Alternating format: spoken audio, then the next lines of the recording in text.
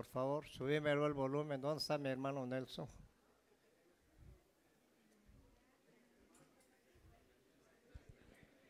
Aleluya, aleluya, aleluya.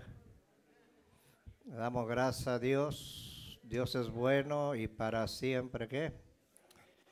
Es su misericordia. Esta tarde vamos a hablar acerca de un tema acerca de la importancia fundamental de la sana doctrina, ¿ok? Estamos viviendo tiempos difíciles donde Jesús en Mateo 24 dijo va a venir mucho engaño. Pablo habló de los últimos tiempos que se levantarían hombres amadores de sí mismos más que de la palabra de Dios. Estamos en un tiempo donde la iglesia tiene que fundamentarse en la palabra de Dios. Pablo escribió acerca de la doctrina para la iglesia. ¿Por qué, ¿Por qué tenemos que nosotros instruirnos en la palabra y conocer la verdadera doctrina? Porque Cristo ya viene pronto. ¿Cuántos creen que Cristo ya viene pronto? Si le vas a dar palmas, dale palmas, pero no le des las palmas aguadas, mi hermano. A Cristo hay que darle lo mejor, ¿cuántos lo creen? Una vez a, este Pavarotti, creo que ya se murió, dos horas. Y no paraba la gente de aplaudirlo. Y a un hombre simple, y cuando venimos a las casas de Dios nos cuesta mover las manitos. Y Él es el que nos da la vida. Tú puedes decir que estás vivo por suerte, no hay suerte en las cosas de Dios. Es la misericordia de Dios, ¿cuánto lo creen?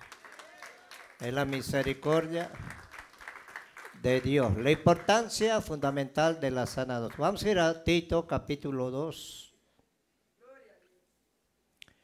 Y después vamos a ir a 1 Timoteo capítulo 4, verso 6. Dos versículos importantes que vamos a estar usando. Estaba mal de la garganta ayer, ayer no podía, y hoy ya el Señor ya me ha sanado. ¿Dios es fiel, sí o no? ¿Cuántos creen que Dios es fiel? Nosotros somos infieles, somos variables. Un día sí le damos, otro día no. Y si no nos da la gana, no aplaudimos ni nada. Porque somos humanos, tenemos un problema ahí. Aquí Pablo habla acerca de la enseñanza de la sana doctrina. ¿Por qué es importante la sana doctrina? Porque Pablo preparó a la iglesia para que se vaya con el Señor. ¿Cuántos creen que Cristo viene pronto? El Señor viene por una iglesia preparada, una iglesia que se prepare. Y el que se va a encargar de ayudarnos es el Espíritu Santo. Tito 2, ¿ya lo tienen? ¿Ya lo tienen, hermanos? A ver un amén todos los que tienen. Gloria a Dios. Pero tú hablas lo que está de acuerdo con la sana doctrina. Esa recomendación le dio Pablo a Tito. Que los ancianos sean sobrios, serios, prudentes, sanos en la fe, en el amor y en la paciencia. Habla también a las mujeres ancianas. Así sean reverentes en su porte, no calumniadoras ni esclavas del vino, maestras del bien, que enseñen a las mujeres jóvenes a amar a sus maridos y a sus hijos a ser prudentes, castas, cuidadosas de su casa, buenas, sujetas a sus maridos, para que la palabra de Dios no sea qué, no sea qué, blasfemada. Exhorta asimismo a los jóvenes que sean prudentes y preséntate tú en todo como ejemplo de buenas obras en la enseñanza, mostrando que integridad y seriedad. Palabra sana e irreprochable, de modo que el adversario se avergüence y no tenga nada malo que decir de vosotros. Ahora, si nos vamos a primera de Timoteo, Timoteo, un poquito atrás. ¿Cuántos van a poner atención a la palabra? Ya el Señor nos ha ministrado, Él ministra como Él quiere, ¿cuántos lo creen? y Él prepara al pueblo. 1 Timoteo capítulo 4, versos 6 al 11. si esto enseña a los hermanos, serás buen ministro de Jesucristo, nutrido con las palabras de la fe y de la buena doctrina que has seguido. Desecha las fábulas profanas y de viejas. Yo no sé a qué refería el, Pablo aquí. Y ejercítate en la, para la piedad, porque el ejercicio corporal para poco es provechoso, pero la piedad para todo aprovecha, pues tiene promesa de esta vida presente y la venida de la vida venidera. Palabra fiel es esta y digna de ser ¿qué? Recibida. Que por esto mismo trabajamos, sufrimos oprobios, porque esperamos en el Dios viviente que es salvador de todos los hombres, mayormente de los que creen. ¿Cuántos creen en el Señor? El verso 11 termina, manda, y esto manda y enseña. Levanta tu mano ahí. Le damos la bienvenida al hermano que nos visita. Mi hermana Rosemary ya llegó. Agárrate la mano de tu hermano y levanta tus manitas. Ora por él, ¿ok? Dice, queremos unos por otros. ¿Cuántos lo creen, hermanos? Pero ora con fe. Padre, en esta tarde te damos gracias, te bendecimos, te honramos, te exaltamos. Te damos la gloria, la honra, la adoración. Ponemos en tus manos esta palabra. Bendecimos cada familia que está acá. Bendecimos desde la cabeza del hogar hasta, los niños, Padre. Abre el entendimiento de tu pueblo, Padre. Pon ese deseo en el corazón de poder escuchar tu palabra. Abre sus oídos espirituales, sus ojos espirituales. Renueva su mente para que esta palabra caiga en buena tierra y dé fruto a 100, 70 y 30%. Bendice, Señor, esta palabra, que sea una palabra de bendición y háblanos a cada uno de nosotros conforme tu voluntad. Gracias, Señor. Amén. Pueden tomar asiento. Dale palmas al Señor y toma asiento, ¿ok? Lo único que quiero es que pongan atención a la palabra. Las hermanitas, si están enfermas, pueden subir al baño, no hay problema. Me han dicho a mí, el, pastor dice que no tenemos que subir. No, suban al baño, estoy siendo específico, ¿ok? Pero si tú no estás enfermito, ¿para qué vas a subir al baño? Ya, ya el Señor quiere hablarnos a cada uno de nosotros. ¿Cuántos lo creen? Como iglesia es importante, una de las columnas para el desarrollo de la iglesia y sus miembros es tener una base doctrinal, con un sólido fundamento en la palabra de Dios. Pablo dice que toda la escritura es inspirada por Dios Segunda de Timoteo capítulo 3, 15. Útil para enseñarnos, corregirnos, instruirnos, redarguirnos, para que el hombre de Dios, el hombre, cuando estamos hablando de hombres de Dios, y cuando hablamos de hombres no vayan a pensar que las mujeres son discriminadas. Cuando hablamos de hombre estamos hablando de la mujer también. Sea enteramente, ¿qué? Preparado para toda, ¿qué? Buena obra. O sea que la palabra de Dios nos prepara a nosotros para que nosotros tengamos un fundamento sólido en la palabra de Dios. La palabra de Dios dice, Pedro, que tenemos la profecía más segura, más segura, más fiel aquí en la palabra de Dios. Que tenemos que estar como una antorcha, que es como una antorcha en un lugar oscuro. O sea que esta palabra es infalible, ¿cuántos lo creen? Y la palabra desde Génesis hasta Apocalipsis fue escrita durante 40, por 40 autores durante 1600 años. Y esta palabra sufrió persecución, sangre, y quisieron destruirla, pero no van a poder. Jesús dijo una palabra clara, cielo y tierra pasarán, pero mis palabras no pasarán. Jesús en San Juan 8 dice, Ah, si queréis ser verdaderamente mis discípulos, Conoceréis la verdad y la verdad os hará que libres. La palabra nos liberta, nos sana. ¿Cuántos lo creen? Y cuando nosotros tenemos el fundamento de la palabra, no, el diablo tiene terror a una persona que te La presencia de Dios tiene la presencia de Dios y tiene la palabra en su vida.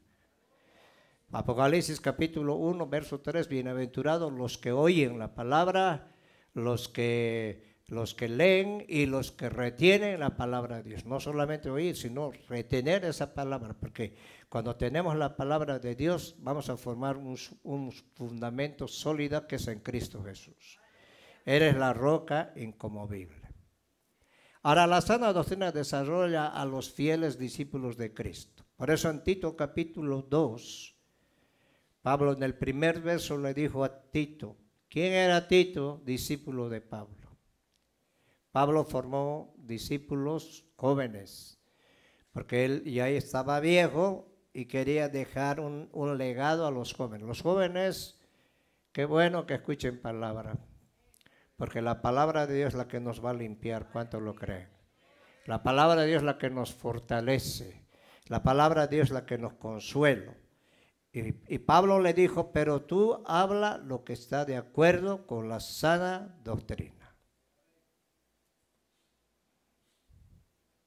Hay nuevas revelaciones, yo no sé de dónde sacaron, pero la palabra de Dios está revelada de Génesis Apocalipsis. ¿Está acá? ¿Sí o no? Ahora en 1 Timoteo capítulo 4, 6, Pablo le dijo a Timoteo, al señalar estas cosas a los hermanos serás un buen ministro de Cristo, de Cristo Jesús, nutrido primero en con las palabras de la fe y de la buena doctrina que ha seguido. Pablo fue un hombre que se fundamentó en la palabra de Dios. Hoy, hoy en día hay muchas que son doctrinas que son solo verdades parciales, no hablan todo completo. Es decir, toda falta de doctrina se fundó en una verdad solo que mal interpretada. Si vamos a 2 Timoteo 4, 2 Timoteo 4,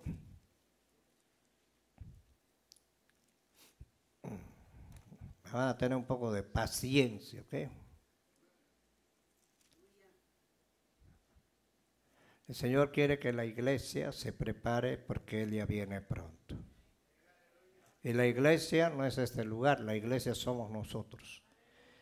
Cada uno de nosotros formamos el cuerpo de Cristo. Y Pablo le dijo a Timoteo, de Timoteo 4, encarezco delante de Dios y del Señor Jesucristo que juzgará a los vivos y a los muertos en su manifestación y en su reino, que prediques la palabra. Segundo, que instes y fuera de tiempo redarguye, reprende, exhorta con toda paciencia y doctrina. La exhortación es llamada de atención. ¿Está acá? La palabra nos redarguye. Cuando tú eres sensible a la palabra y tienes la presencia de Dios, muchas veces la palabra viene fuerte y es porque te está hablando y la palabra nos habla directamente a nosotros. Dice que es como una espada de dos filos que penetra y parte el alma y llega hasta los tuétanos y divide. Antes vivíamos dirigidos bajo nuestras emociones, vivíamos bajo el alma, pero hoy vivimos bajo la dirección del Espíritu Santo. Y el Espíritu Santo se tiene, el, alma se tiene que sujetar al Espíritu Santo. ¿Cuántos lo creen? ¿Saca? Porque Dios nos habla directamente a nuestro espíritu. Ahora Pablo le dijo, porque van a venir tiempos cuando no sufrirán qué? La sana doctrina. Hoy estamos viviendo un tiempo de acá donde la gente ya no quiere escuchar un confrontamiento con la palabra. Muchos huyen, muchos quieren escuchar palabra que les que no los redarguya, sino palabra que los los entretengan. La iglesia no es para entretenimiento, la iglesia es para que Dios nos hable, porque Dios nos habla por medio de su palabra. ¿Cuántos lo creen? Sino que teniendo comenzón de oír, se amontonarán maestros conforme a sus propias concupiscencias. ¿Qué dice? ¿Qué quiere decir concupiscencia? Conforme a su manera carnal. ¿Y qué van a hacer? Van a apartar de la verdad del oído y se volverán a las fábulas. ¿Sabes qué es fábulas? Filosofías, humanismo, relativismo y todas esas cosas que se han metido dentro de la iglesia, donde la gente, les voy a decir, la gente, mucha gente no quiere, quiere todo de Dios, quiere bendición, quiere que Dios sane a sus hijos, quiere que Dios le dé el dinero, que le caiga el dinero del cielo, pero no quieren un compromiso serio con Dios. Lo más importante, más que todo lo material, es que tú tengas una buena relación con Dios. Saca. Como dijo un siervo, puedes tener 10, 15 años en la iglesia y sin embargo nunca, nunca abriste tu corazón. Y el Señor quiere que nos preparemos. Porque nuestra, nuestra herencia no la tenemos aquí en la tierra. La tenemos en el cielo. ¿Cuántos lo creen? Dale palmas al Señor si lo crees. Pero tú sé sobrio. ¿Qué es una persona sobria? Una persona atenta. Hello. Que tiene los cinco sentidos ejercitados. ¿Cuántos lo creen? Sé sobrio en todo, dice, en todo, ¿qué quiere decir? En toda tu manera de vivir. Ahora Pedro dice que el diablo anda como un león rugiendo, buscando a quién devorar. ¿Qué es lo que come el león? ¿Qué es lo que come el león? Dale una lechuga a un león, ni caso te hace. Pero él ve la carne y anda como león Ahora nosotros tenemos una lucha entre la carne y el espíritu. El espíritu quiere agradar a Dios, pero hay una naturaleza. Pablo decía que nos arrastra a hacer lo contrario de todo lo que Dios nos dice. Por eso que el Evangelio tenemos que pelearla nosotros. Y nosotros somos el peor que enemigo. Y la palabra es la que nos va a ayudar. ¿Cuántos lo creen? Dice, pero tú se sobró en todo y soporta qué? Las aflicciones. Haz la obra de evangelista y cumple tu ministerio. Aquí Pablo en segunda de Timoteo ya se estaba despidiendo de Timoteo.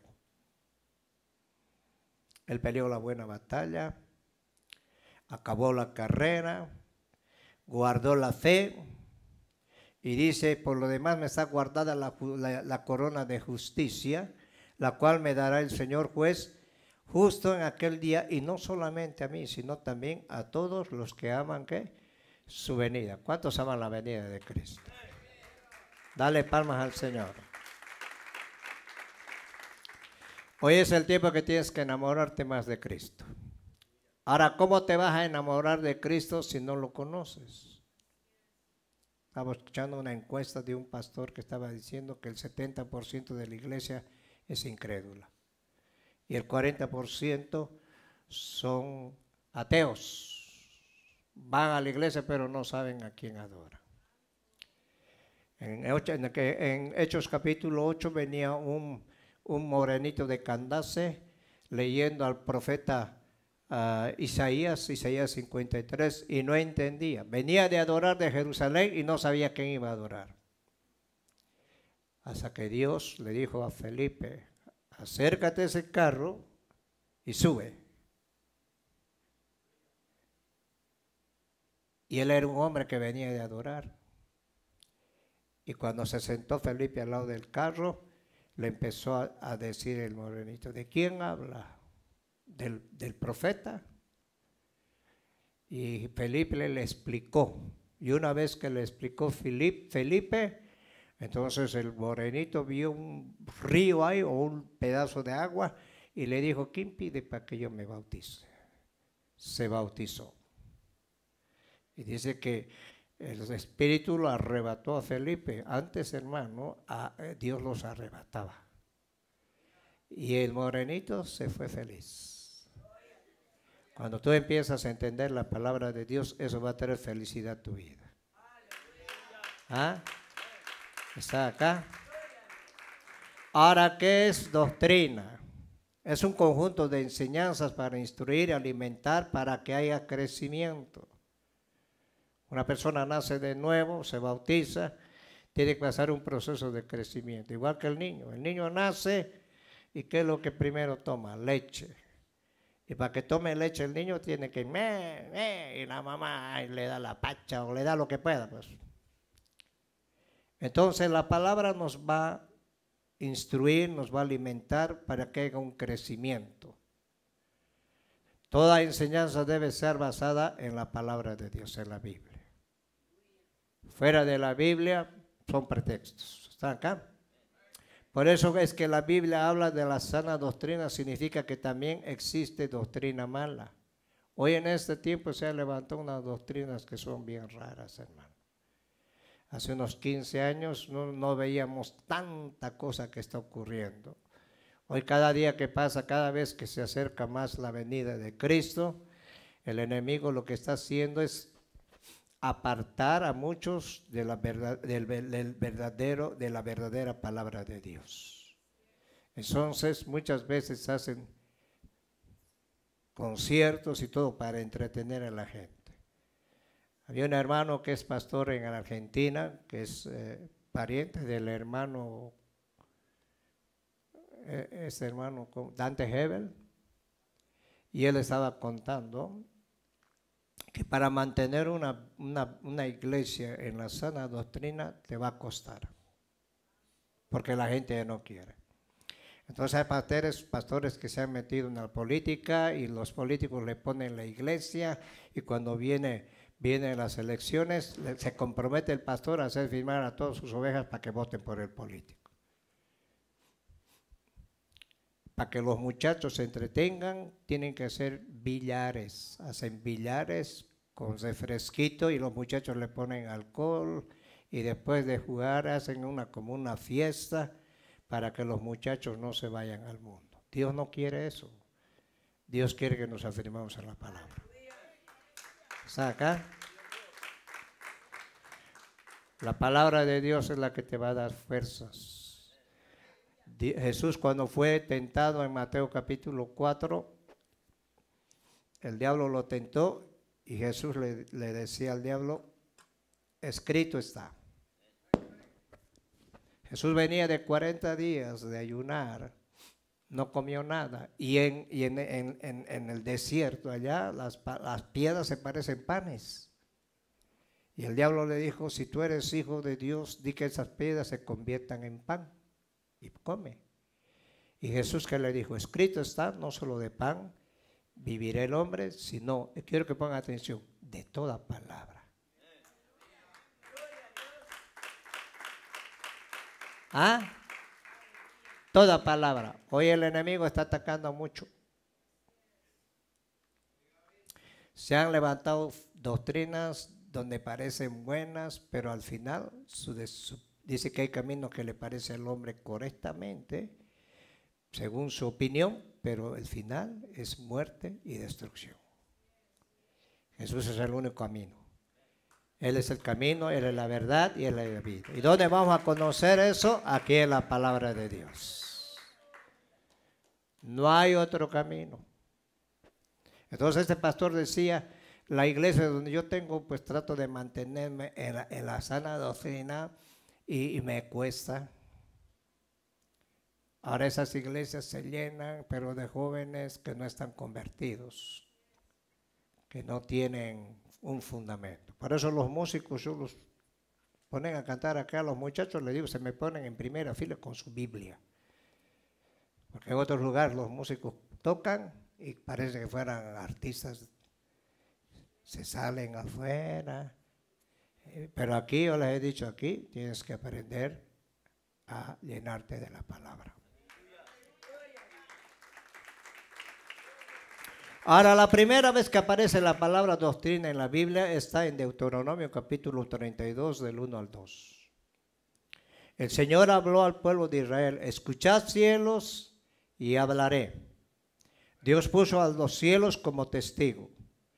Y oiga la tierra los dichos de mi boca, goteará como la lluvia mi doctrina. Destilará como el rocío mi dicho y como la llovizna sobre la grama y como las gotas sobre la tierra. Tú en verano ves los cerros secos, a veces vienen incendios, se queman. Y, yo digo, ¿cómo cuando llueve y la lluvia se germina en la tierra, empiezan a verdecer los cerros? Y sale. Hay un secreto, hermanos y Dios lo sabe. Se quema la tierra, pero hay una semilla dentro. Cuando tú tienes la semilla de la palabra de Dios, el diablo va a venir con todo, pero te vas a mantener en el fundamento que es la palabra. Y vas a vivir una vida libre de bendición. Se te va a levantar el diablo con todo, con falsas y cosas. Y a veces uno se ríe. Pero cuando no estás fundamentado en la palabra, cualquier cosa te saca del camino. Cualquier cosa te apartas de Dios. Y Dios no nos ha hecho nada. Dios nos da la bendición. ¿Cuánto lo creen? ¿Cuánto lo creen? Ahora, ¿qué tierra? Son los que oyen y tienen entendimiento. Romanos capítulo 12, Pablo dice que, que nos presentemos nuestros cuerpos en sacrificio vivo y agradable delante de Dios. ¿Qué quiere decir eso? Que todos los días tú tienes que presentarte de Dios en sacrificio vivo, agradable delante de su presencia. No solo aquí en la iglesia, porque hay gente que aquí en la iglesia danzan y hasta hablan lenguas, pero en su casa no existe Dios. Dios está en todos lados. ¿Cuántos lo creen, hermanos? ¿Cuántos lo creen? y no te conformes a este siglo. Dice Pablo que el príncipe de este siglo ha, ¿qué? Ha cegado el entendimiento para que muchos no lleguen al conocimiento de la verdad. ¿Qué quiere decir? ¿Cómo ha cegado el diablo? A través de religiones. La gente es más fácil inclinarse delante de un pedazo de yeso y pedirle al pedazo de yeso y dice que eh, los, ídolos son ídolos que tienen ojos, no ven, tienen boca, no hablan, tienen manos, no palpan, tienen pies, son paralíticos, ciegos, sordos y mudos. Y así son los que lo construyen. Pero nosotros tenemos un Dios vivo, ¿cuántos lo creen? ¿Cuántos lo creen? Ahora el Señor nos abre el entendimiento. ¿Para qué? Para que cuando llega la palabra, llega como un, como un rocío. Y penetra. Y todo lo que está seco, el Señor lo redebrece. ¿Cuánto lo creen? Ahora, ¿para quién es la doctrina? Para los hombres, para los que han conocido de Dios. Esta palabra el Señor nos ha dejado a cada uno de nosotros para que nosotros nos dejemos llevar por medio de esta palabra. Todo lo que está ocurriendo ya lo escribió el Señor acá. ¿Cuántos lo creen? Perdónenme, ¿ok? La doctrina sana nos dará como resultado vida sana. Job dice, tú dices, mi doctrina es pura y yo soy limpio delante de tus ojos. En otra versión dice, tú dices, mi manera de vivir es pura y yo soy limpio delante de tus ojos. Nuestra justicia, no sé si está en, Isaías 64, Isaías dice que nuestra justicia es como trapo de inmundicia delante de Dios. Ningún hombre puede justificarse delante de Dios. Y Pablo dice que no hay ni un justo. A Jesús un día se acercó un hombre y le dijo, maestro bueno, ¿qué debo hacer para hallar la vida? primer lugar Jesús le dijo, no me, ¿y por qué me llamas bueno? Hay un solo bueno. Es Dios. ¿Cuántos lo creen? Ahora, cuando nosotros nos acercamos conforme a lo que Cristo hizo en la cruz, Hebreos 4:16 dice que podemos entrar confiadamente al trono de qué? De su gracia. Para hallar qué? Oportuno socorro. Cuando tú entras en la presencia de Dios y le cuentas a Dios tus problemas y hablas con Dios, Él te va a oír. Hello. Ahora Jesús es la la doctrina y la conducta del creyente. Si vamos a Lucas 4, Lucas capítulo 4,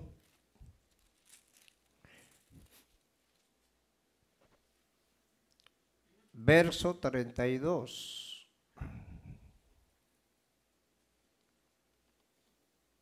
En el verso 31 dice, descendió Jesús a Capernaum, ciudad de Galilea, y les enseñaba los días de reposo. Una de las cosas que hacía Jesús cuando entraba a una sinagoga, así como un lugar este, les enseñaba.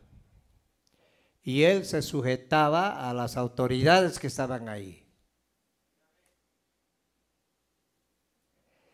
Y se admiraban de su doctrina porque su palabra era que con autoridad.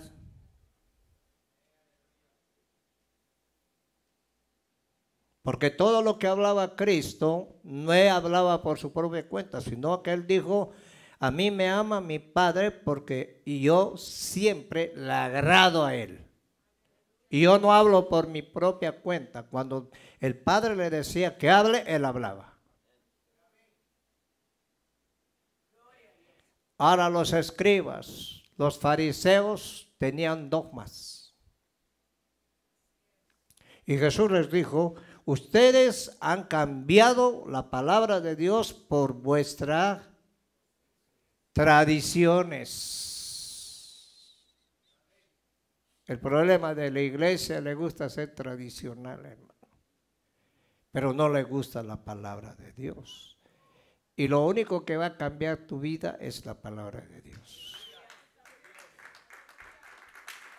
Está acá. ¿Quieres ser libre? Conoceréis la verdad y la verdad os hará que libre. Ahora es bueno ministrarlo. Sabes, hay administración y hay que echarle las manos ahí. Te liberas acá y sales ahí afuera, vuelves a meterte con problemas. Por eso es que no hay un cambio en la vida de muchos y tienen años. Una hermana me dijo, tengo 21 años y le dije, ¿cuántos días de nacida tiene? Y creen que por venir a la iglesia ya se van a salvar. Así no es. Tenemos que conocer la palabra de Dios. ¿Ah? En el verso 36, y estaban todos maravillados y hablaban unos a otros diciendo, ¿qué palabra es esta? Que con autoridad y poder manda a los espíritus inmundos y salen. Cuando Jesús llegaba a una sinagoga, los, los religiosos no lo reconocían, lo criticaban. Cuando una persona es religiosa, lo único que va a hacer es criticar. ¿Ah? Y siempre vas a ver lo malo y siempre vas a venir aburrido o aburrida en vez de venir contento. Cuando tú tienes la presencia de Dios, te alegras todos los días. ¿Cuántos lo creen? Y vienes a la casa de Dios con alegría. El salmista David decía, yo me alegré con los que decían, vamos a la casa de Jehová. Me alegré. Tú tienes que alegrarte, mi hermano. ¿Ah? Jesús tenía autoridad, tenía poder, porque era el Hijo de Dios. Y Jesús es Dios, ¿cuántos lo creen, hermanos? ¿Ah? Un día se puso a predicar un montón de gente ahí, como más de cinco mil personas sin contar los niños y las mujeres. Tres días sentada la gente en el monte y no quería ir. los discípulos le dijeron, ¿por qué no envías a estos? Se van a morir aquí tres días se tienen. Y Jesús los probó a los discípulos.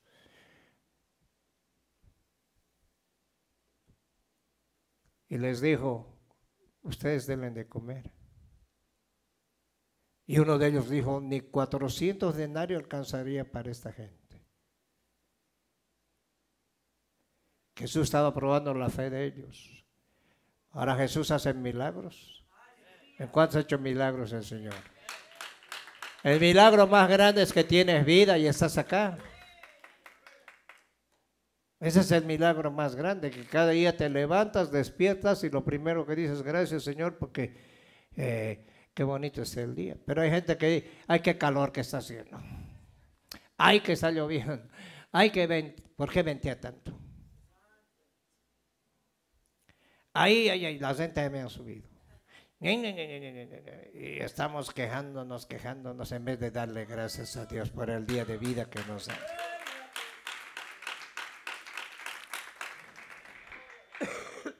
Jesús es el mejor modelo para nosotros. ¿Cuántos lo creen? En primera de Juan capítulo 2, 6, el que dice que permanece en él debe andar como él anduvo. ¿Cómo anduvo Jesús en la tierra? Sanaba, liberaba, enseñaba. A los discípulos los ponía aparte y les explicaba acerca del reino. Qué maravillas no les habrá contado, contado a los discípulos. ¿Y por qué tú les hablas en parábolas a aquellos? Les dijo. Porque para vosotros es el reino de Dios. La iglesia es un lugar donde tú tienes que aprender, venir a aprender quién es Jesús. ¿Ah? Y poner atención a la palabra. Una vez yo fui a una iglesia, subió el predicador y ya cada a ti te está hablando, es para ti. Oye, es para ti. Yo decía, estas no vienen a escuchar palabra. No vaya a ser como un hermanito en un pueblito allá en Centroamérica. Cada domingo hacían el culto, venían tres, cuatro horas de caminar los hermanitos en plena lluvia. Aquí con carro nuevo ni vienes.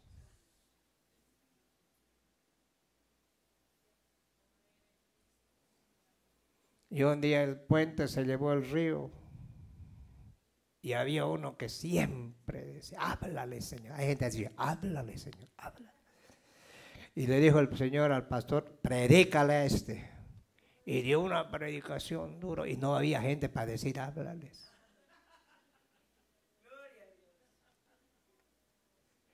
La cosa es que se arregló el puente, después vinieron los hermanitos. ¿Y ustedes por qué no vinieron el domingo? Si supiera cómo Dios les habló a ustedes.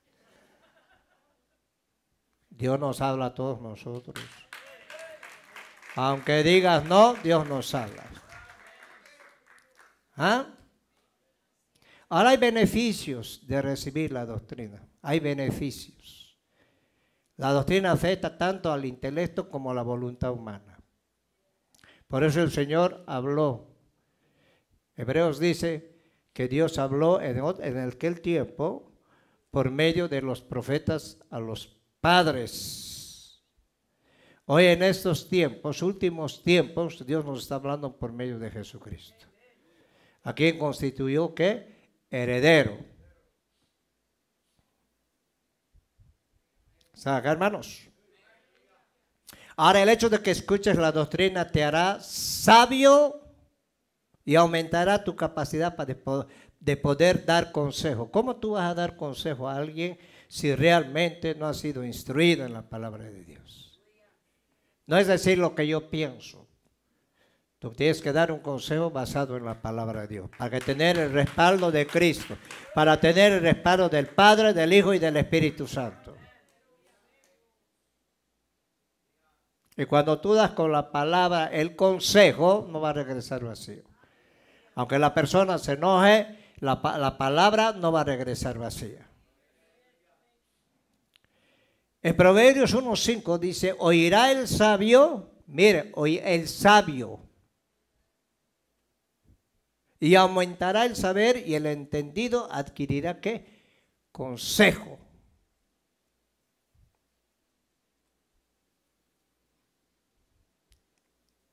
Reprende al sabio y te va a agradecer. Reprende al necio y te va a dejar con el ojo verde. O sea que hay gente que uno ya dice que darle consejo, hermano, porque se molesta. ¿Cuántos sabios hay aquí? ¿Dos o no? ¿Toditos son qué? ¿Cuántos sabios hay aquí? El Señor nos ha dado sabiduría, ¿sí o no? Ahora, si vamos a Lucas capítulo 6, Lucas capítulo 6, verso 47 al 49.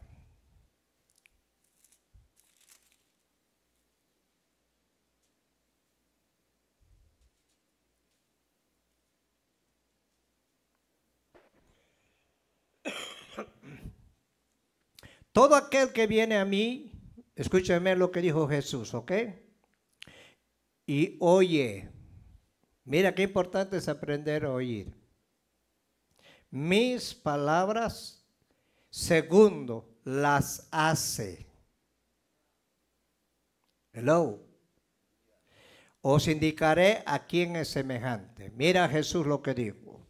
Semejante es al hombre que, que al edificar una casa, primero cavó. ¿Qué quiere decir cavar? Profundizarse en la palabra. Y ahondó y puso el fundamento sobre la roca y la roca es Cristo Jesús. Y cuando vino una inundación, el río dio con ímpetu contra aquella casa, pero no la pudo mover porque estaba fundada sobre la roca. ¿Ah? ¿Y quién es la roca? Es Cristo Jesús. Eso es cuando tú pones tu fundamento en lo que piensas, en tus habilidades, en lo que sabes. Proverbios 3.5 dice, fíate de Jehová de todo tu corazón y Él va a enderezar tus pasos. El único que puede enderezar nuestros pasos se llama Cristo Jesús. ¿Ah? La palabra nos endereza. Y muchas veces decimos, no, yo no quiero escuchar la palabra. Yo quiero que Dios me dé bendición, arregle mi problema, pero yo no quiero que Dios me hable. Dios nos va a hablar. Y nosotros tenemos que aprender a escuchar. ¿Cuánto lo creen? Ahora mira lo que dice el 49. Más el que oyó y no hizo. El que oyó. Dice Pablo, Santiago que no seamos solo oidores, sino que seamos hacedores de la palabra de Dios. ¿De qué te sirve sentarte en una silla eh, y oír todo el año y nunca has puesto en práctica lo que Dios te ha enseñado? ¿Qué hacía Jesús con sus discípulos? Los sentaba, los instruía. En Lucas capítulo 9 envió a 12 y le dijo, no lleven alforja, no lleven calzado. Ah, después me envió 70 y los 70 regresaron contentos. Señor, mira, hasta los demonios se sujetan. Y el Señor les dijo, no se alegren porque los demonios se sujetan, sino alégrense porque su nombre está inscrito en el libro de la vida. Ahora, si tu nombre está inscrito en el libro de la vida, ¿qué tienes que hacer? Lo que aprendes, ponerlo en práctica. A una hermana yo le expliqué, ¿quieres que los ríos de agua viva corran en tu vida? Aprende a enseñar.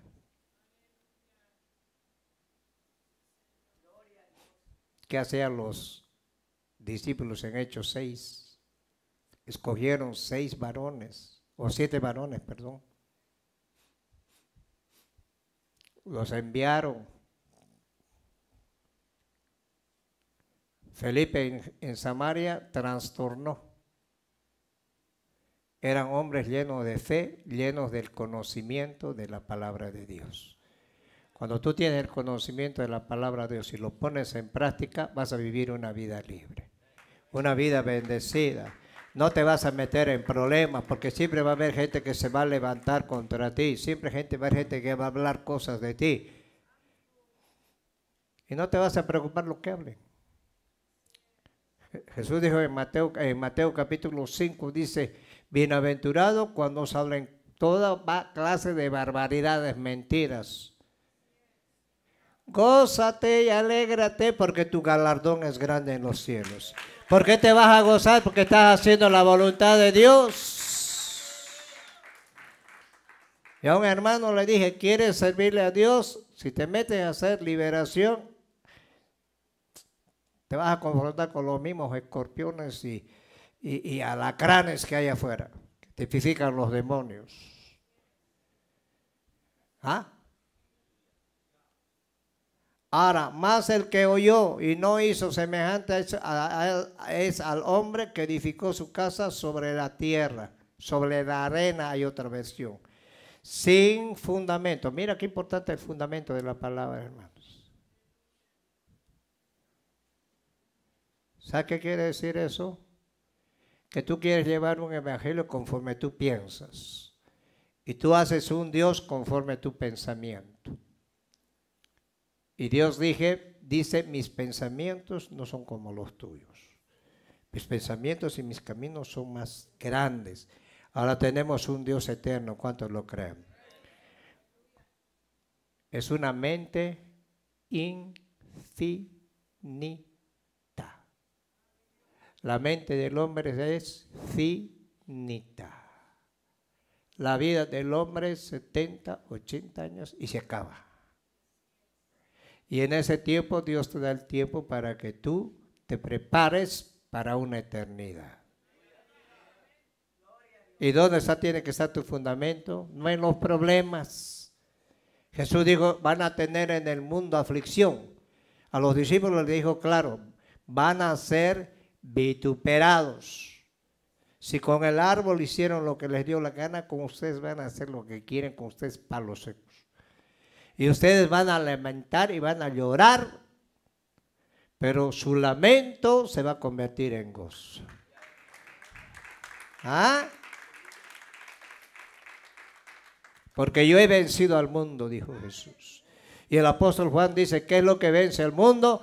Nuestro fundamento, nuestra fe.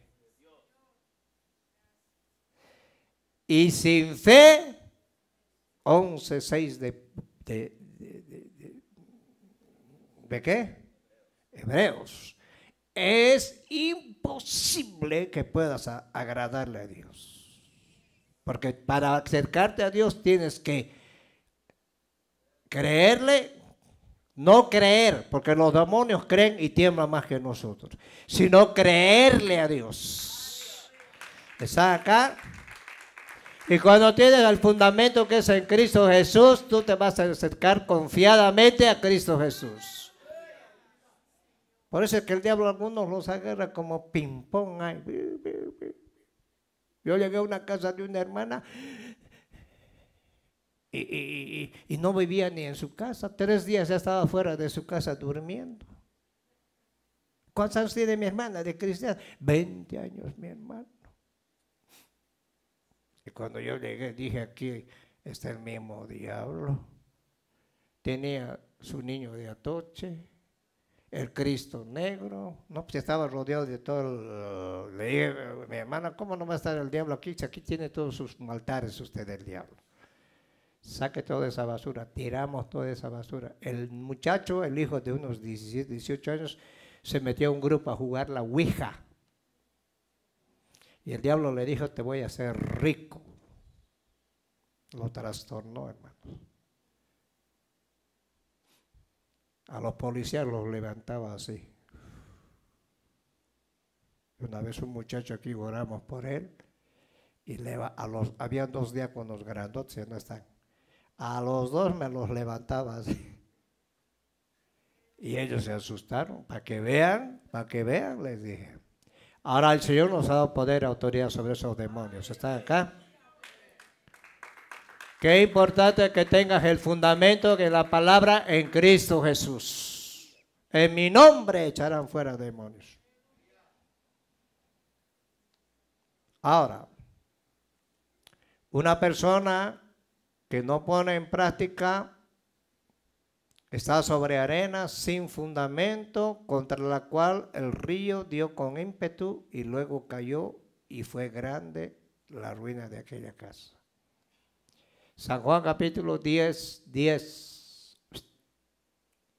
Jesús dijo, el ladrón no viene sino para matar, robar y destruir. Eso va a ser el diablo hasta que Cristo vuelva. ¿Cuántos lo creen? Y tenemos todos los días, hermano. A veces yo estoy, cuando está tranquilo, yo me preocupo porque de repente se levanta por aquí uno, se levanta por allá otro, hablando cosas, tratando de intimidarme. Pero yo le digo al Señor, tú peleas por mí. Y yo tengo confianza en ti. Y Dios me da la victoria. ¿Cuántos lo creen? O sea que lo primer beneficio que tenemos que aprender es escuchar porque la fe viene por el oír y oír qué? Palabra de Dios. Segundo, obedecer la doctrina. Nos lleva a ser siervos de la justicia. Pero si vamos a Romanos capítulo 6, y a su nombre,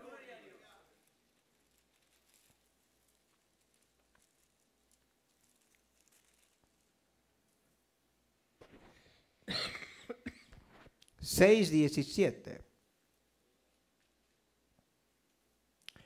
Pero gracias a Dios que aunque erais esclavos del pecado habéis obedecido de corazón aquella forma de doctrina a la cual fuisteis que fuisteis que entregados y libertados del pecado viniste a ser siervos de la justicia. ¿A cuándo el Señor nos libertó? Cuando tú te mantienes en esa libertad vas a vivir. Mire, hasta las enfermedades se van a ir. ¿Lo creen o no lo creen? ¿Lo creen o no lo creen? Jesús le decía, ¿crees que te puedo sanar? Sí, Señor. Cuando Jesús fue a la transfiguración, regresó con sus, dos, con sus discípulos, con tres que fue, y había una multitud. ¿Y qué, qué, alboroto es este? Dijo Jesús. Y un hombre se acercó y dijo, maestro, traje a mi hijo para que lo liberen y estos tus discípulos no pudieron. ¿Sabes qué dijo Jesús? Generación perversa y malmada. ¿Hasta cuándo yo los voy a aguantar? Trae al niño. ¿Desde cuándo ocurre? Desde pequeño.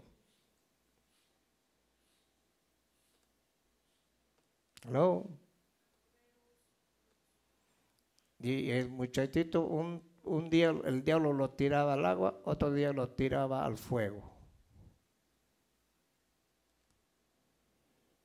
Y cuando vio a Jesús, salió ese demonio. Y los discípulos se acercaban aparte y le dijeron, Señor, ¿por qué nosotros no pudimos echar ese demonio? Le dijo, estos demonios, estos géneros solo salen con ayuno y oración. Ahora Jesús tenía poder, ¿sí o no? Jesús como hijo de Dios, toda la noche estaba hablando con el Padre. Él estaba en la tierra, su cuerpo, pero su alma y su espíritu estaban conectados con el Padre. ¿Ah? Por eso que cuando él acababa la oración, llegaba a un lugar y los demonios se sujetaban. La iglesia ha perdido eso. Un problema, corres al médico. El médico es tu Dios. Ahora no te digo que no vayas al médico, pero si vienes primero aquel. ¿Sabes Él es el que sabe todo, sí o no. Incluso Él te habla y te dice, yo voy a poner los médicos que te van a atender. Y te atienden bien, hermano. Ahí andas como rey ahí. Es porque Dios pone la gracia, ¿cuánto lo creen? Primero, escuchar la doctrina. Segundo, obedecer. Tercero, que estudiemos la doctrina básica del Evangelio de Cristo, nos dará crecimiento, ¿qué? Crecimiento espiritual. Porque los niños, mira, a un niño le da 100 dólares, se va a comprar una, así un paquete de dulces.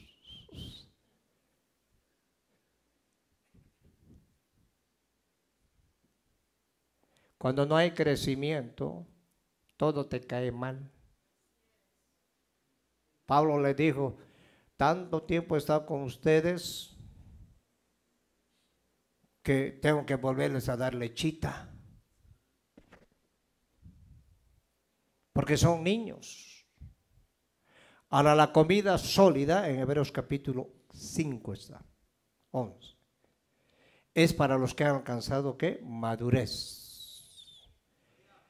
Los que tienen los sentidos que ejercitados. Ojos, oído. ¿Están hermanos? Entonces Pablo quería hermanos, enseñarle cosas nuevas, pero no podía, porque en la iglesia de Corintios había divisiones, pleitos, contiendas, hermano. La gente cuando se mete en pleitos de chimo contienda no tiene, aunque tenga 20 años, 40 años de cristiano. El Señor no nos ha llamado para eso. Entonces el Señor nos ha llamado para que crezcamos, nos edifiquemos. ¿Cuántos lo creen? Y cuando tú creces, si te edificas, tu vida va a ser de bendición. Si vamos a Efesios, capítulo 4.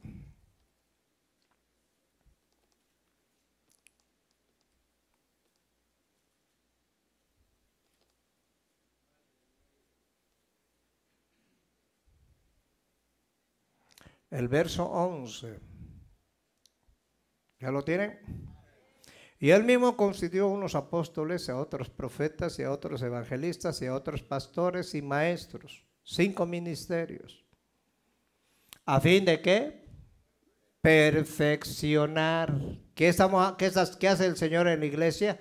Perfeccionar a los santos para la obra del ministerio, para la edificación del cuerpo, ¿qué? Escúchenme, del cuerpo de Cristo. Hello. Él es la cabeza. Nosotros somos, completamos el cuerpo de Cristo. No todos son igual, no todos son dedos, no todos son manos. Cada parte del cuerpo de nosotros tiene su finalidad. Ese dedito tiene una finalidad. Sin este dedito no puedes tener fuerza, no hay fuerza. Pero cuando lo pones todos los dedos, agarras bien la espada. El dedo gordo es para que no te desequilibres. Y los reyes cuando agarraban prisioneros, les cortaban este dedo y les cortaban el dedo gordo. Para que no puedan equilibrarse y no puedan tener fuerza para agarrar la espada. ¿Y que la espada? Es la palabra de Dios. Por eso es que a muchos no les gusta la palabra.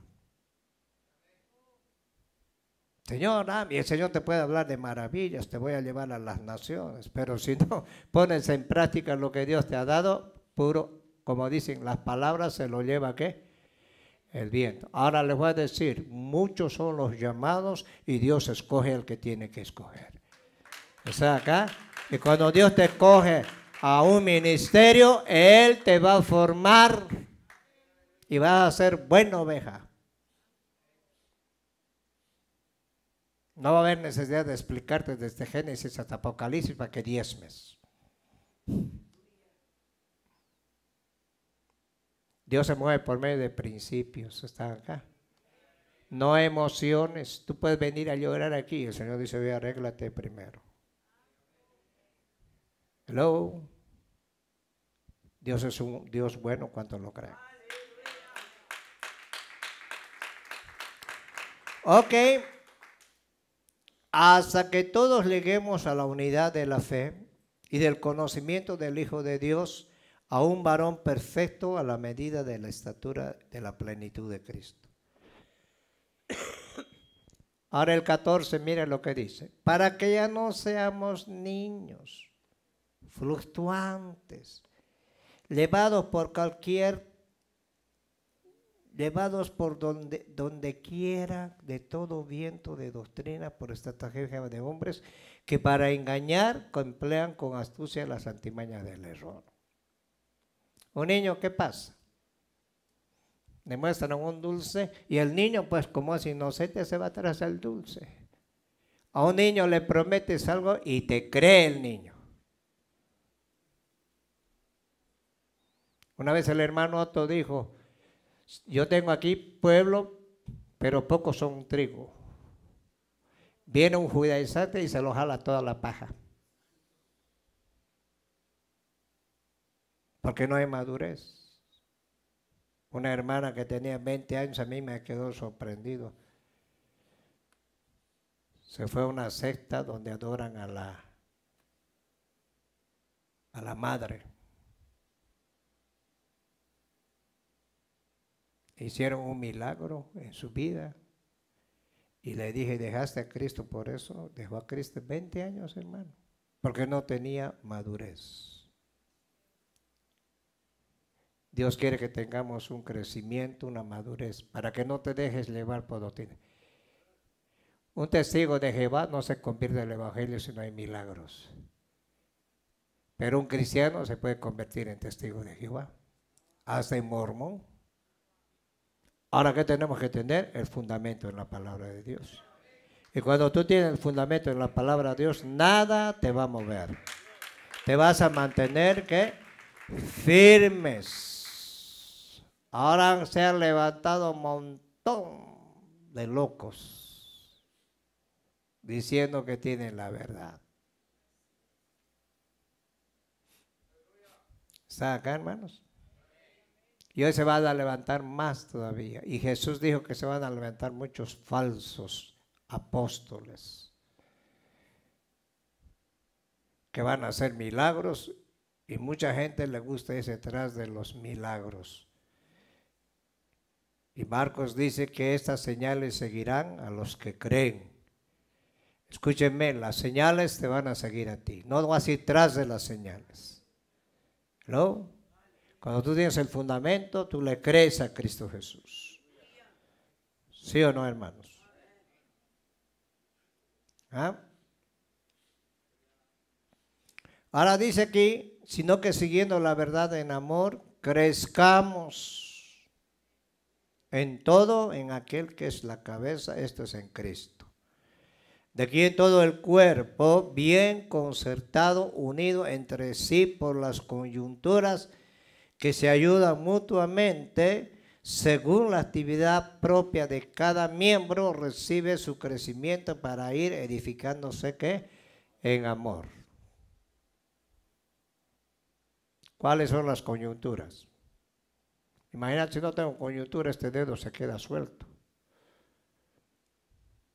Entonces, cuando hay unidad en el pueblo, cuando hay unidad en tu hogar, va a haber un crecimiento en tu familia. Va a haber un crecimiento en la iglesia. Toda tu familia, no vas a necesitar de estar rogando a tus hijos. Automáticamente el Señor los va a traer cuanto lo crean. ¿Saca? Porque la iglesia está formada por familias. Todo lo negativo, lo positivo, lo traes de tu casa tú. El evangelio no empieza aquí en la iglesia, el evangelio empieza en tu hogar. Dale palmas al Señor. Cuarto, la doctrina nos nutre. ¿Para qué? Para hacer bien a la obra en el ministerio. Vamos a 1 Timoteo capítulo 4. Cada vez que vienes acá estás alimentándote. ¿Está acá? Y la palabra te levanta. ¿Cuántos lo creen?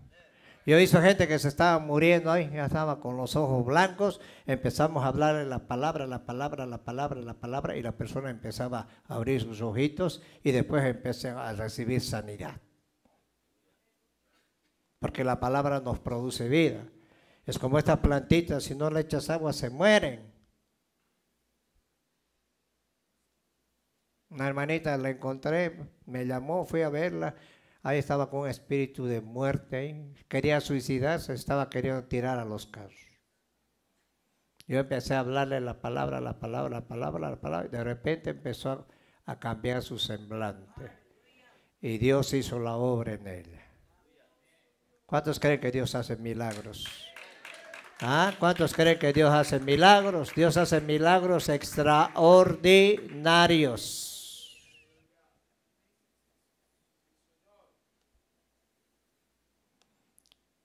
Pablo le dijo en el capítulo 4, verso 6 a Timoteo, y esto enseña a hombres, en el verso 6, a los hombres, si esto enseña a los hombres, serás buen ministro de Jesucristo, nutrido con las palabras de la fe y de la buena doctrina que has seguido. Desecha las fábulas profanas y de viejas. Esa palabra está fuerte, ¿no ve? Y ejercítate para la piedad. Timoteo se fue a un gimnasio y andaba. Ahora muchos han sacado una doctrina que, que, que el ejercicio es malo. No es malo el ejercicio. El deporte no es malo.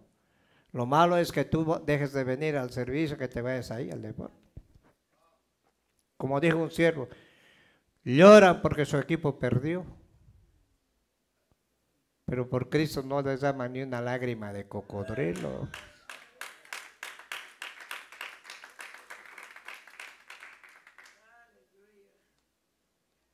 Hello.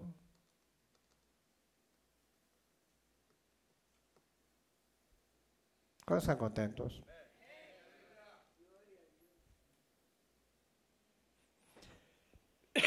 Ahora el diablo va a meter falsas doctrinas. ¿Cuál es el objetivo de Satanás? Desviar de la verdad a los hijos de Dios y la Biblia lo habla abiertamente. Porque la palabra de Dios es eficaz. ¿Cuántos lo creen? Los peligros de las falsas doctrinas. A Eva cuando se le presentó Satanás en Génesis capítulo es tergiversó la palabra. Y Pablo dice, temo así como Eva fue engañada, que la iglesia hoy sea engañada a sus sentidos. Hoy tenemos que aprender a escuchar la palabra. Escúchenme hermanos. La palabra.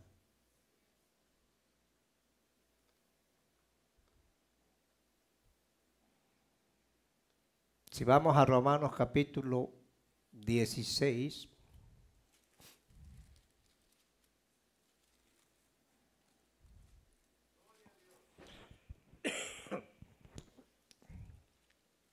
Romanos 16.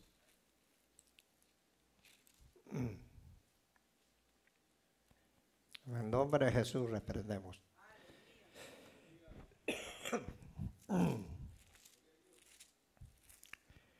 16, 16. Verso 17 al 18. Pablo decía en el verso 17, más os ruego hermanos que os fijéis en los que causan qué? Divisiones y tropiezos en contra de la doctrina que vosotros habéis aprendido, que os apartéis de ellos. ¿Quiénes son los que causan divisiones? En Filipenses capítulo 3, Pablo tuvo un problema.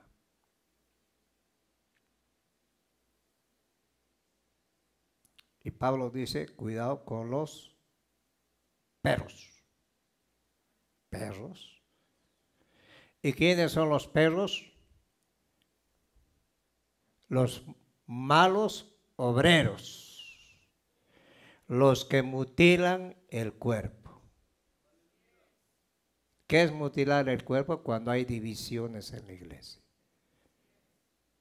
¿Qué es mutilar el cuerpo cuando se levantan sectas que van en contra de los principios de la palabra de Dios? Como los testigos de Jehová, como los mormones. Y en Apocalipsis dice 22 que los perros estarán fuera, los hechiceros y toda una lista. Y aquí dice Pablo, cuídense con los que causan divisiones, tropezos en contra de la autoridad que vosotros habéis aprendido, que os apartéis de quién? De ellos. Porque tales personas no sirven a vuestro Señor Jesucristo, sino a sus propios ¿qué? vientres y con suaves palabras y lisonjas engañan los corazones de los ingenuos. ¿Qué es una persona ingenua?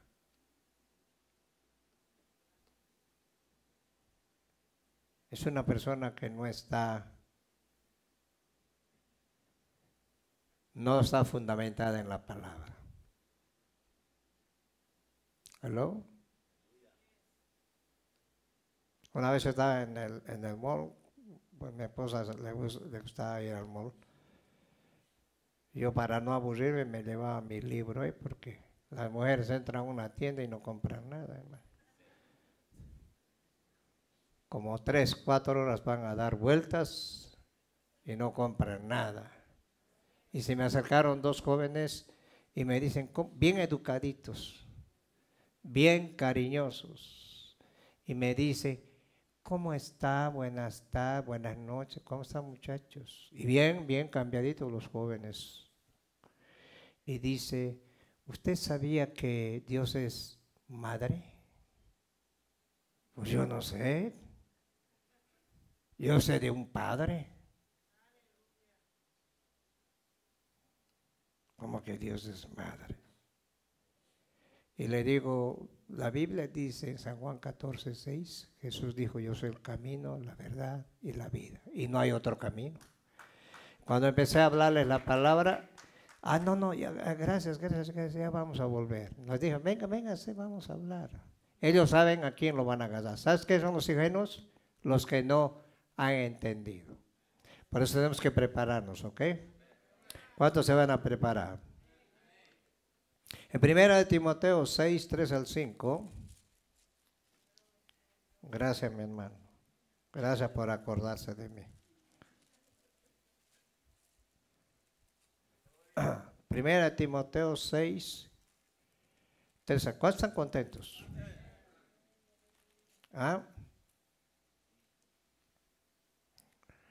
Pablo dice, si alguno enseña otra cosa y no se conforma a las sanas palabras de nuestro Señor Jesucristo y a la doctrina que es conforme a la piedad, primero está envanecido y nada sabe.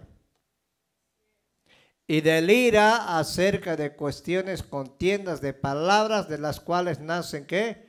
Envidias, pleitos, blasfemas, malas sospechas, disputas necias de hombres corruptos de entendimiento y privados de la verdad, que toman la piedad como fuente de ganancia, apártate de los tales.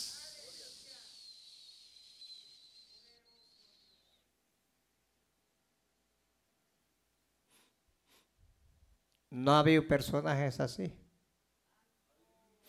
Una mujer, no sé si era en Ecuador, una profeta. Llegó, dijo, ¿sabían que los billetes hablan? Y la gente así. ¿Y dónde dice la Biblia que los billetes hablan? Colócate un billete de 100 dólares en el oído y guarda silencio. Y todos los, los inocencios. Y dice, y ella misma salió una voz de ella yo soy tu amo. Ahí está un video. Todos los que quieren dar mil dólares aquí, dale un revés a mamón. Y los de 500. Ah, no tienes dinero, pues tu casa, tu carro. Y ese día se llevó casi como 40 mil dólares. Y un predicador que predica estaba diciendo, ese día se llevó la cantidad de ese dinero.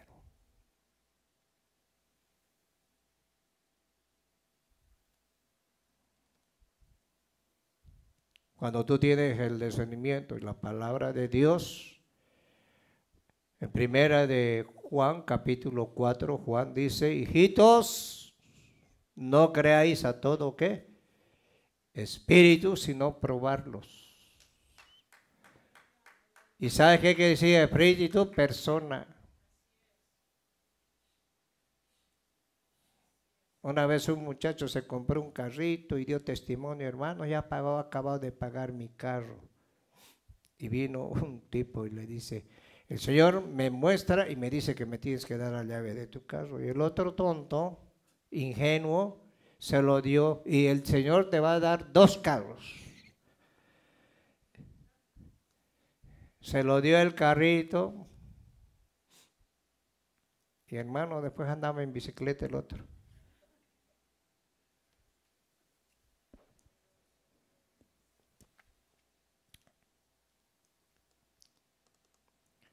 Segunda de Timoteo 4, 1 5. Ya vamos a, a continuar, ¿ok?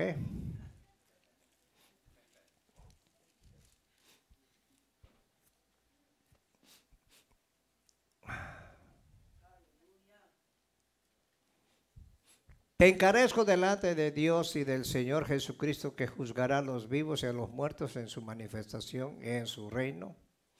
Primero, mira lo que le dijo Pablo a Timoteo prediques la palabra, que instes a tiempo y fuera de tiempo, redarguye, reprende, exhorta con toda paciencia y doctrina. Porque vendrán tiempos cuando no sufrirán la sana doctrina, y estamos en esos tiempos ahorita.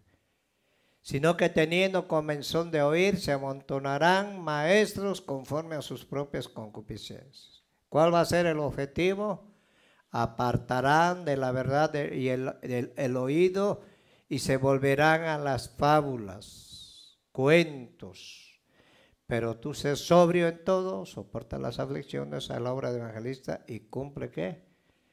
Tu ministerio. Hello.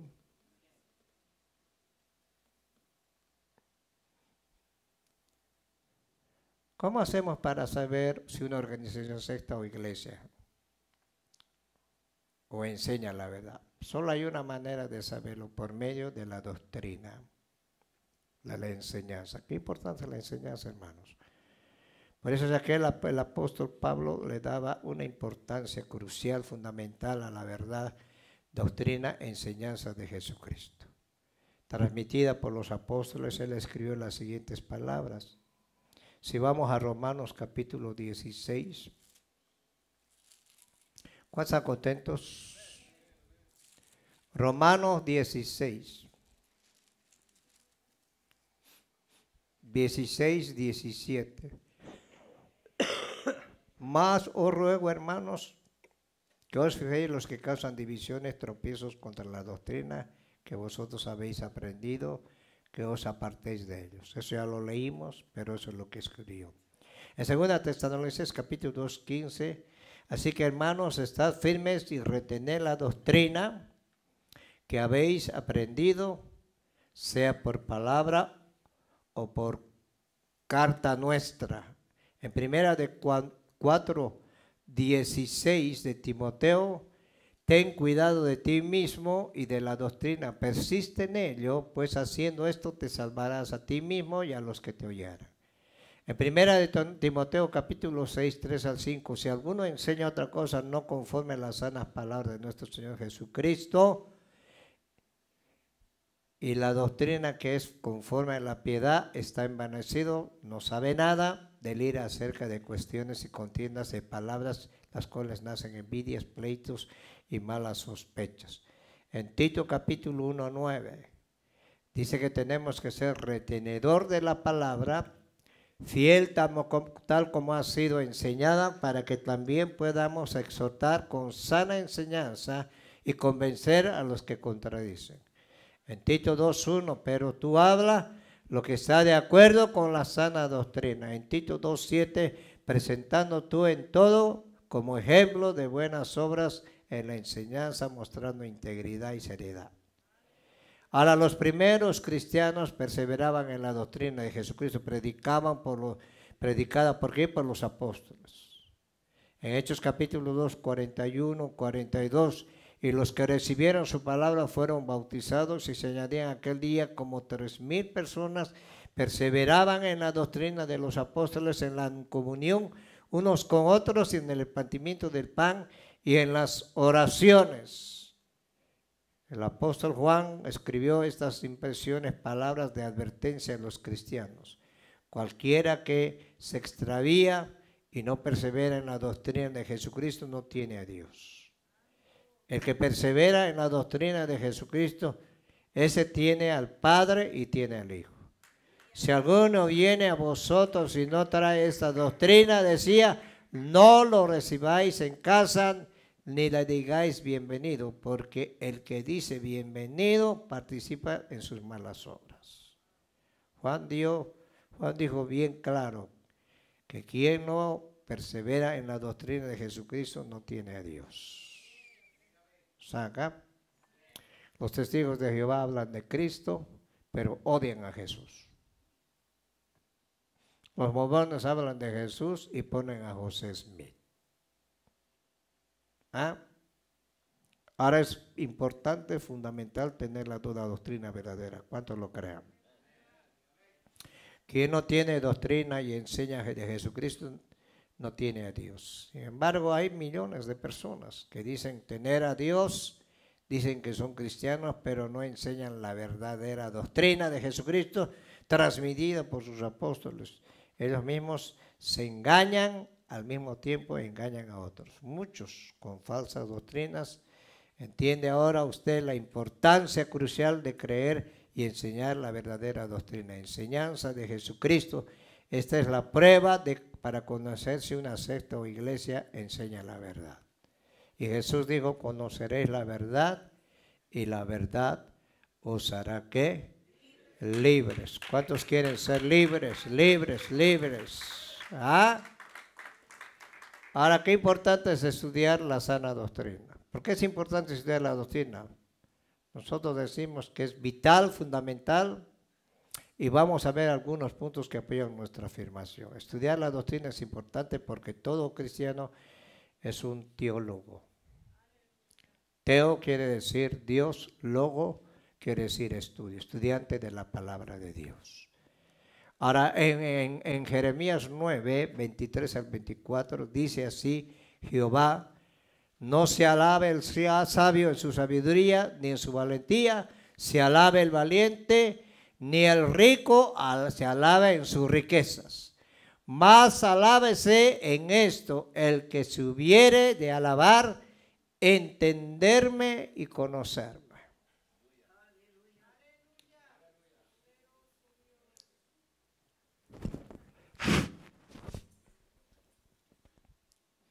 ¿Cómo yo voy a conocer a un Dios que no lo quiero escuchar? Hello. Y no solo aquí en la iglesia tienes que estar en la palabra, sino en tu casa. Y eso tienes que transmitir a tus hijos. ¿Ah?